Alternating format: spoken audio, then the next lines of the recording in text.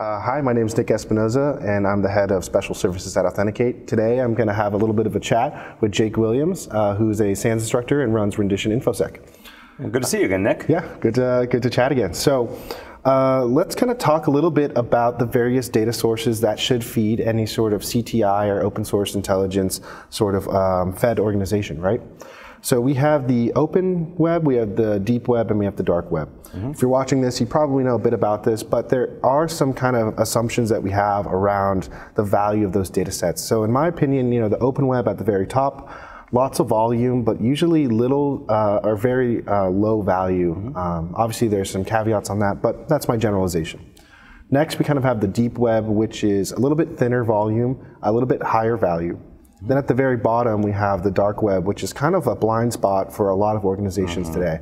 And that is very low volume, very hard to find, um, that sort of data set uh, in general. And then the information you get is usually uh, just very, very valuable because it's usually very open, um, very volatile, uh, explicit in some way, shape, or form. So uh, usually a great data set to dig into. Would you kind of agree with that sort of uh, open, deep, and dark web statement? Yeah, I think the characterization that's very good. And, and yeah, to, to your point, uh, the dark web data tends to be very, very high value, although uh, for many organizations is a big challenge for them to get access to.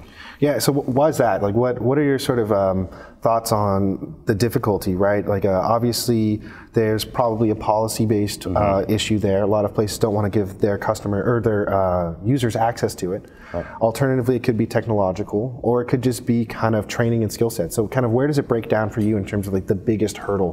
Well, I think there's a couple of things, right? For, for obvious security reasons, uh, we, a lot of organizations simply do not allow Tor uh, right. out of their network. Mm-hmm. Um, and uh, of course, as you know, most of our dark websites, the vast majority, all I guess by definition, dark websites are, are on Tor.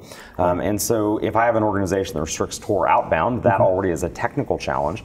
Then we have legal and policy challenges. Many of these right. dark web forums require payment uh, to uh, even to register with. Uh, they require some amount of Bitcoin being transferred, mm-hmm. and you are effectively, I think you and I can generally agree, you're probably paying a cyber criminal at that point who runs these these we try to avoid it, but it, it, happens. We try to avoid sometimes. it, but it, is, it happens. And, yeah. and look, for a cybersecurity firm like like mine, it's a cost of doing business. It's mm-hmm. something that we provide uh, to to clients, right? And, and, so we have to have access there. But for some other organizations, uh, they don't want the potential public relations burden of, of that kind of action, right? right?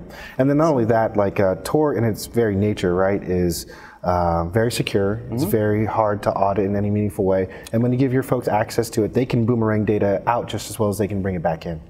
Um, but let's kind of talk about the value. So I know you have an interesting story that you kind of sanitize and can share about why dark web matters in terms of actually viewing this content um, as someone trying to run a mature um, cyber threat intelligence or OSINT organization, right? So can you share that with us? Yeah, sure. A little over a year ago, had a, a client that uh, basically was doing dark web monitoring. We were doing dark web monitoring for, mm-hmm. um, and uh, actually got a hit on the uh, name of the organization, okay. um, and uh, found out that there was an attacker selling uh, credentialed access uh, to one of their databases wow. that contains regulated data. Yeah, that's a big one. That's a really nice find and a very clean find, right? It was huge because it was the only indication that we had uh, that the application had been breached. In fact, uh, we, or the account at the application had been breached.